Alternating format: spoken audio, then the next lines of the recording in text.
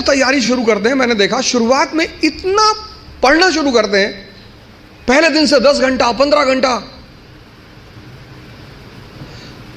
आराम से। आपको पता नहीं, आपको लगता नहीं कि ये पेट है ना, हजम करना होता है। सिर्फ़ अंडरलाइन करना नहीं होता। मैंने 98 परसेंट स्टूडेंटों को देखा है, वो किताब को अंडरलाइन करने को पढ़ाई मानते हैं। अपना स्व मूल्यांकन करना बहुत बड़ी बात होती है। सेल्फ इंट्रोस्पेक्शन कभी कभी एहसास होता है हमें कि हम बहुत काम कर रहे हैं, कुछ होता नहीं उस वक्त। बात समझ में आ रही ना? इस क्षमता, यहाँ की जो डाइजेशन क्षमता है, ये दिखाई नहीं पड़ती ना? ये दिखाई पड़ता है।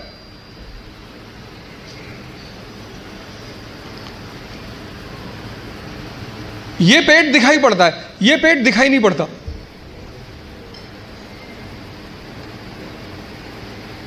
अब ये क्षमता विकसित स्ट्रांग कैसे होगी? बड़ा प्यारा फॉर्मूला सेकंड फॉर्मूला क्षमता बढ़ानी है मन की, हजम करने की। बहुत प्यारा, जो कि फिर 98 परसेंट लोग नहीं करते।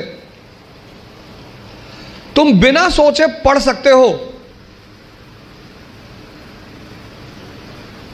तुम बिना सोचे पढ़ सकते हो बिना सोचे लिख नहीं सकते।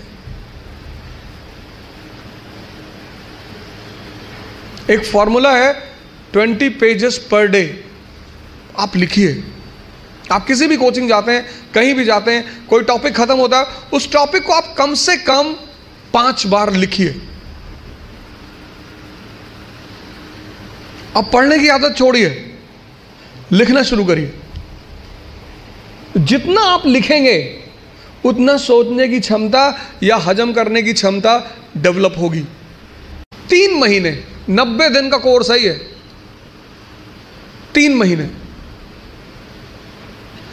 तीन महीने अगर 20 पेजेस लिख ले गए तो तुम बिलीव नहीं करोगे कि तुम्हारे सोचने की क्षमता कितनी डेवलप हो जाएगी। हजम करने की क्षमता कितनी डेवलप हो जाएगी।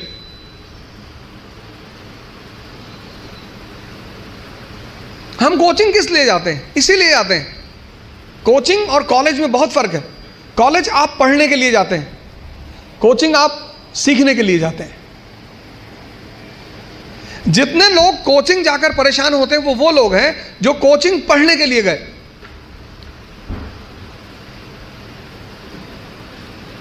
अगर कोचिंग भी पढ़ा रही है और कॉलेज भी पढ़ा रही है तो फिर दोनों में फ़र्क कहाँ है?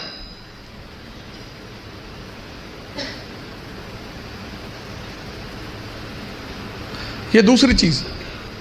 अपना मूल्यांकन, अपनी ताकत को समझना कि मेरा मेरा पोटेंशियल लेवल क्या है। क्लास खत्म हुई, आप घर गए, आप जित, जो ढाई घंटा पढ़ाया, उसको रीराइट करने की कोशिश करो।